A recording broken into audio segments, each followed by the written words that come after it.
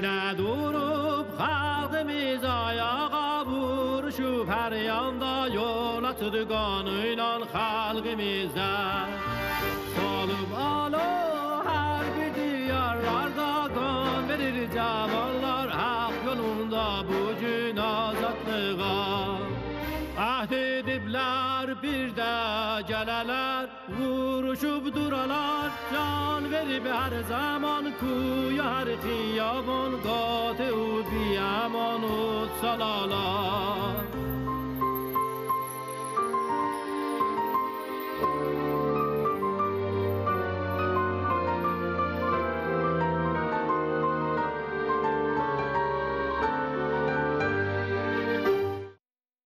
سالگرد انقلاب مشروطه و یاد سرداران و پیشگامان فداکار آن گرامی باد.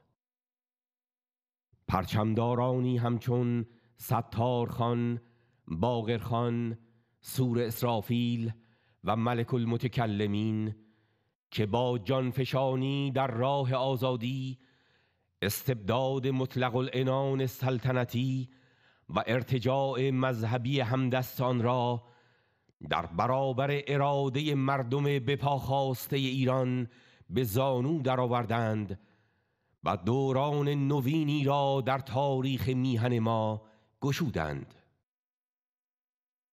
انقلاب مشروطه به مسابه سرفصل تاریخ معاصر ایران با همه ارزش ها و سنن فرهنگیش و با همه تجارب سیاسی و نظامیش با مبارزات بعدی از جنبش جنگل تا قیام پسیان و از نهزت ملی شدن نفت تا انقلاب ضد سلطنتی پیوند می‌خورد و با کشاکش ها و تجربه های انقلاب نوین ایران که ادامه راه سرداران و پرچمداران انقلاب مشروطه در مدار تکاملی کنونی است متصل می گردد.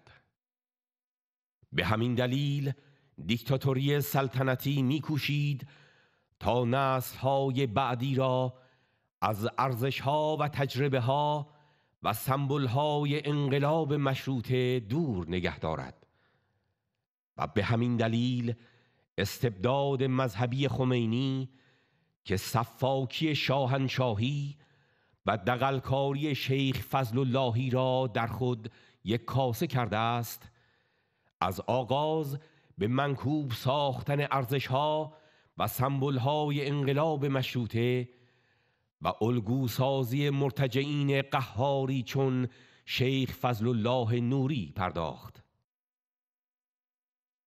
به خاطر همین تقابل مستمر تاریخی است که راه حفظ و احیای ارزشها و های انقلاب مشروطه و سرداران و پرچمداران شهید و سازش ناپذیر آن از میدان مقاومت و انقلاب میگذرد. و الا اخلاف همان مرتجعین و میوه چینان و فرصت طلبانی که خون پرچمداران و سرداران آن انقلاب را بر زمین ریختند و دستاوردهایشان را پایمال کردند. سنت ها و میراث های مبارزاتی آنان یعنی ارجمندترین سرمایه ها و دارایی های ملی ما را با توسل به سخیفترین دقلکاری ها از دسترس نسل امروز می رو بایند و به رزیلان ترین وجه فرهنگ فدا جانبازی رهایی و اساس تعهد و مسئولیت اجتماعی را از اساس هیچ و پوچ و حاکی از بینوایی و دست و پا زدن عبس بر روی تخت های شکنجه یا بر سر چوبه های دار می شمارند بی جهت نیست که مسیر تعمیق انقلاب نوین ایران همانا احیا و ارتقای میراث های مبارزات تاریخی مردم ایران از مشروطه تا کنون نیز بوده و خواهد بود. در این مسیر از یک سو پیچ و خمها جبه بندی ها و آزمایش های آن مبارزات و ارج و شعن سرداران سازش ناپذیرش برای نسل کنونی باز شناخته می شود و سوی دیگر در پرتو آن تجربه های گرانقدر ممون و ماهیت صفبندی ها و مواضع سیاسی امروز هرچه روشنتر می گردد. این روند تا کنون نقش چشمگیری در ارتقای آگاهی های سیاسی نسل مبارز امروز و افشای ماهیت مدعیان جنبش انقلابی داشته است و در این حال مبانی محکم پیروزی های فردا را نیز فراهم می کند از این رو بار دیگر باید تأکید کرد که یکی از بارزترین وجوه اطلاع و تکامل تاریخ مبارزات رهایی بخش مردم ما از مشروطه تا کنون شناخت و دفع آفاتی است که با فرصت طلبی و میوه چینی و خنجر زدن از پشت کاری ترین ضربات را بر مبارزات تاریخی ملت ایران چه در انقلاب مشروطه و چه در جنبش های مردمی پس از آن وارد آوردند. همانها که هر بار تا به مشروطه و مشروعه خود رسیدند در برابر خلق و انقلاب ایستادند و بر روی آن تیغ خیانت کشیدند. از این حیث شورای ملی مقاومت اقدامات و بیانی های تاریخی خود در زمینه افشای چنین خطوطی را هدیهی ارزنده به روح سرداران و مجاهدان و آزادی خواهان مظلومی می‌شناسد که رنج و خون آنان در انقلاب مشروطه به دریغ ترین و دردآورترین صورت پایمال فرصت طلبی و خیانت و میوه چینی گردید. دنباله های تاریخی آن میوه چینان چپاولگر ضد انقلابی و وابستگی گرا که به مصدق هم خیانت کردند و بر سر سفره آماده شده انقلاب ضد سلطنتی نیز حاضر بودند برای چپاول سمری رنج و خون جانبازان و مجاهدان انقلاب نوین ایران هم دندان تیز کردند. اما خوشبختانه این بار مسیر پیشرفت و تعمیق انقلاب نوین ایران و سازش ناپذیری پیشگامان و مجاهدانش بر سر اصول آزادی و استقلال و بر سر مبارزه انقلابی مسلحانه و سرنگونی تمامیت ارتجاع خوناشام خمینی خطوط ارتجاعی و استعماری را چه در لباس شبه آلترناتیف های ضد دموکراتیک و چه در شکل یقدرانی برای استحاله رژیم خمینی و در پرتو تجربه های گرانقدر انقلاب مشروطه و جنبش های پس از آن ماهیت مدعیان را نیز به مردم ایران شناساند.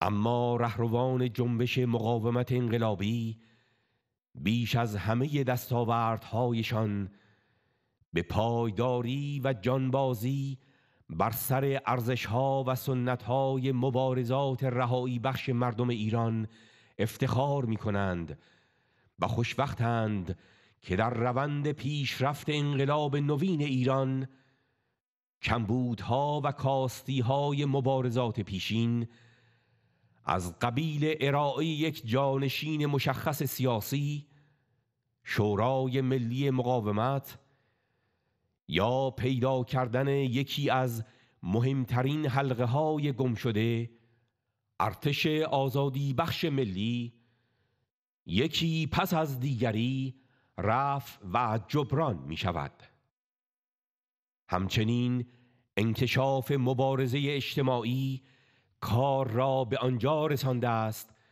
که میوه چینان چپاولگر و ضد انقلابی در منتهای بیاعتباری ناگزیر سخن ته دل خود را به زبان می آورند به این ترتیب هم راه پیروزمند آینده هموار می شود و هم نسل امروز با رنج ها و حماسه هایی که در عمق کشاکش های گذشته بین خیانتکاران و مقاومت کنندگان جریان داشته است پیوند می‌خورد و هویت و پیشینه ملی و میهنی و تاریخی خود را در سیمای پرچمداران و مجاهدان فداکار آن مبارزات باز مییابد. در سالگرد انقلاب مشروطه بر سر ادامه این راه پر افتخار بار دیگر با سرداران و مجاهدان و عموم آزادی خواهان آن انقلاب که راه گشایان فراموشی ناپذیر مبارزات مردم ما در دوران معاصرند تجدید پیمان می کنیم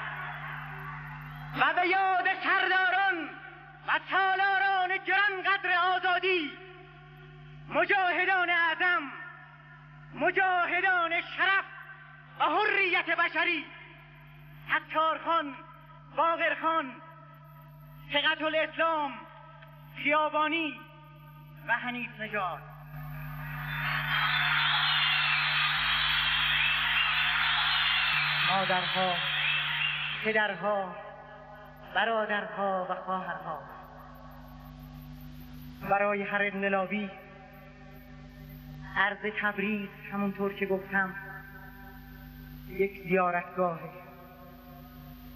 یعنی هیچ انقلابی راستینی پیدا نخواهد شد. که مشتاق دیدارش نباشه و نخواد به زیارت این حرم آزادی بشتابه. ولی ولی برای یک مجاهد خلق این آرزو و اشتیاق اوج دیگری به خودش می‌گیره. چرا که یک مجاهد خلق در تبریز همزادگاه تاریخیش رو پیدا می‌کنه و همزادگاه سیاسی و عقیدتیش و همزادگاه تشکیلاتیش رو. زادگاه تاریخیش از این هست که در تاریخ جدید ایران اصل و نسب تاریخی ما به مجاهدین صدر مشروطه می‌رسه. ستار و باقر تفنگ سردار رو بوسیدیم و به دوش انداختیم. از حیث عقیده و مرام هم ما ادامه کمال یافته همون اسلامی هستیم که در قریب گلوله های سردار نطفه بست. وقتی که پرچم های سفید ننگ و تسلیم رو از هم میدرید و پرچم سرخ حسینی رو بر در خونه های تبریز به احتزاز در می آورد اسلامی که در قریب تفنگ های مجاهدین همه محلات تبریز را از ارتجاع و استبداد توهی کرد. هزاران هزار بار از میان آتش و خون گذشت بر علیه استعمار شورید.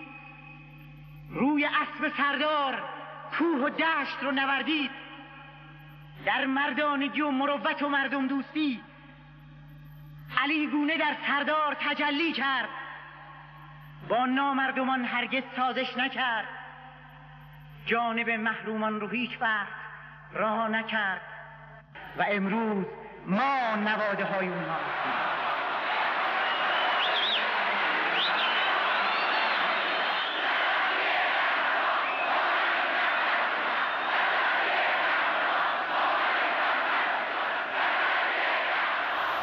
بله همین اسلام حنیف. نه تنها ضد استبداد و ضد استعمار بلکه به قول پدر طالقانی ضد استثمار هم هست. حالا فهمیده بودیم. ضد بهره کشی هم هست. کارگر و دهقان رو می‌خواد. جامعه بی طبقه توحیدی رو می‌خواد. اینجا بود که معطل نشدیم. مرکب عشق و امید سردار رو سوار شدیم. تفنگش رم بوسیدیم و برداشتیم. مثل علی موسیو و حاجلی دوافروش که شماها باید خوب بشناسیدشون. مرکز غیبی درست کردیم. رفتیم و رفتیم. هر وقت که راه پرفراز و پرسنگلاخ بود پرفراز و نشیب بود هر وقت که فشارها زیاد بود درست مثل سربازهای سردار در بهبوه جنگ های تبریز. صدای سمینی سردار رو شنیدیم که با اتاب می‌گفت آهای آهای آنام قربان. و بلند شدیم.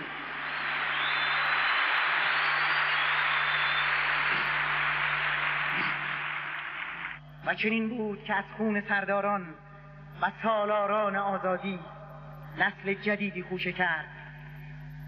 در گذرگاه شب تار همون جایی که ستار خان رو به دروازه نور پیکار می کرد احگران سرخ خوشه زدند. فقط الاسلام ها شیخ سلیم ها خیابونی ها فرزندان علی مستیو و حاجلی دوافروش حنیف نجات ها محسن ها بدیزادگان ها سمد ها گل سرخی ها و هزاران گل سرخ دیگر.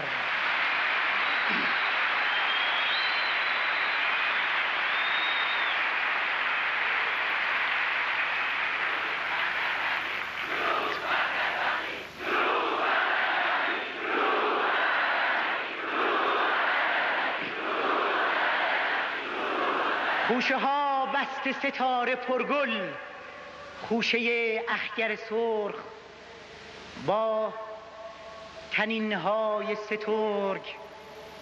کاقبت کوره خورشید گدازان خواهد شد. و تومار هر گونه ستم و استثمار رو در هم خواهد پیچید.